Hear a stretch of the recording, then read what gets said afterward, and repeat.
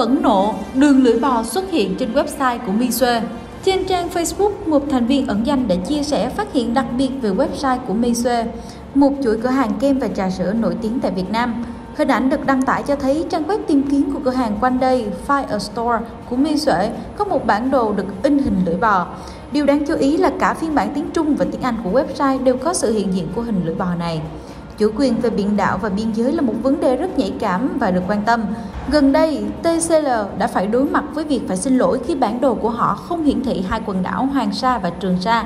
Đây là hai quần đảo thuộc chủ quyền của Việt Nam. Theo một vài báo cáo, 72% thu nhập của Misue là từ bán nguyên liệu cho các cửa hàng nhượng quyền. Năm 2012, Misue bắt đầu xây dựng nhà máy trung tâm để kiểm soát chuỗi cung ứng và đạt được khả năng tự cung tự cấp. Với các nhà kho và trung tâm hậu cần riêng, khi vận chuyển của Misue được rút ngắn lại, đồng thời giảm chi phí lưu kho và hàng tồn kho. Chính vì lý do này, chi phí nguyên liệu thô mà công ty sử dụng thấp hơn khoảng 20% so với các chuỗi nước giải khát và kem khác, giúp cho Misue có tính cạnh tranh cao hơn.